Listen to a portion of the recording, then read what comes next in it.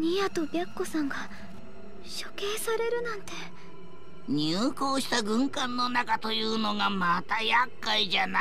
どうやって助け出したもんか。軍港は警戒厳重だもん。やっぱりここは男らしく正面突破。ダメです。みんなが危険な目に遭っちゃいます。まあそうだよね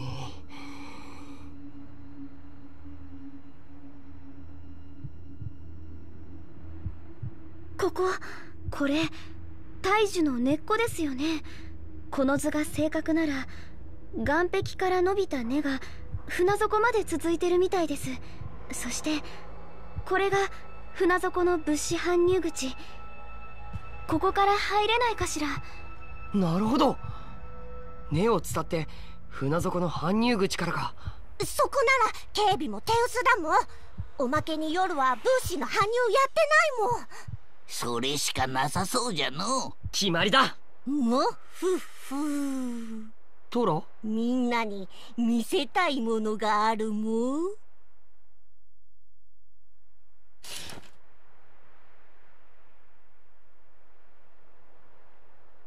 これは。誰にも見せたことのないトラだけの秘密。人工ブレードなんだもん。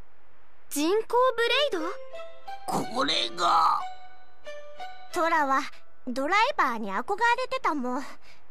でもトラにはトラにはドライバー適性がなかったんだもん。なんでそんなこと決めつけるんだよ。そんなのやってみなけりゃ。やっちゃったのか。トラは1年前ドライバースカウトに志願したんだもん。ダメじゃったのか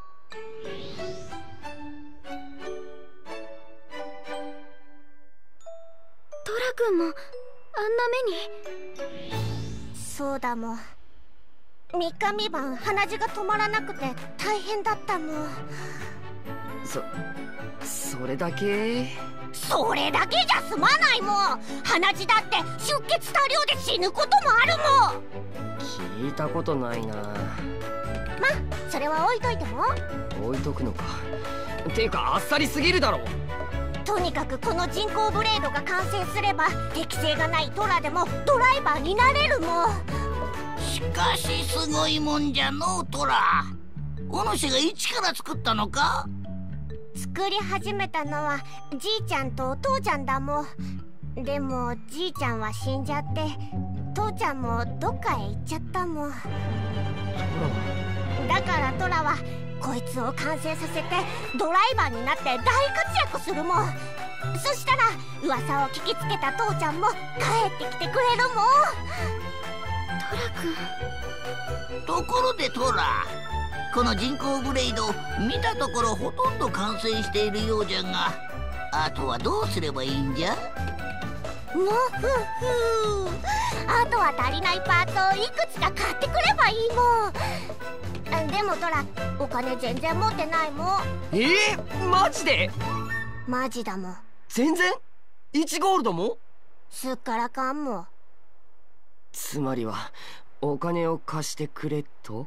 貸すんじゃなくてえ出してくれたらもっと嬉しいもんさすがはノポン族しっかりというか。ちゃっかりというか。あでもでも人工ブレードが完成したらとてつもなくすんばらしい戦力になるもん。そりゃまあそうなのかもしれないけど。でいくらいるの？だいたい6万ゴールドくらいも。6万？さすがにそれは。ねレックストラ君にも手伝ってもらいましょう。お金だったら私が何とかするから。なんとかするってどうするの？ままさか体を！ブハいい加減にしろクソじじい。天然物だから売れば6万くらいにはなると思う。ダメ！そんなの受け取れないよ。でもねえ俺もお得だ分かった。パーツ代全額俺が持つ。なんと太っ腹。兄貴は男の中の男も。その代わりへんてこなブレイドだったら承知しないぞ。それは任せても。よしじゃあ行くぞトラ。大丈夫かしら。ありゃやけくそじゃな